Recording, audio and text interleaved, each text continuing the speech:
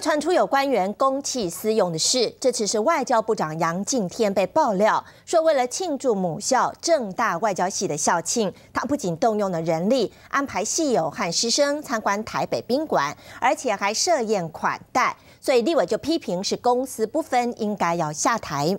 但是杨敬天认为这是对母校培育外交人才表示感谢，而对外界的批评，他感到遗憾。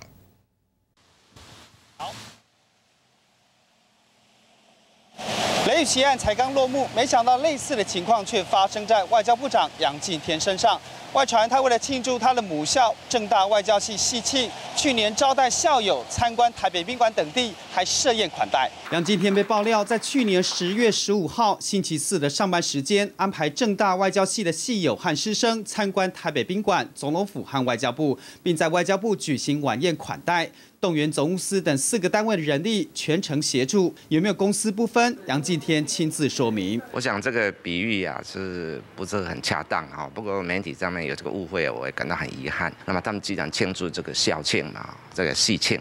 那么表示一种尊师重道，同时也表示这种啊不忘本的这种观念哈。所以我们这个跟部里面的相关的同仁啊，以一个简单的餐叙啊，跟他们这个聚餐，一方面表示平常对我们外交部的个工作，替我们国家的外交人才的培育做了很多贡献，表示感谢。外传正大外交系的参访活动是由他主动提出申请，杨敬天没有给答案。那那一天这个外交系的这个系友们，很多都是大使啊，很多都是教。授啊，啊，很多都是这个很重要的学者，他们这个到宾馆去参观的时候，也是这个提出这个同样的申请。社团组织如果他们需要的话呢，可以提出申请。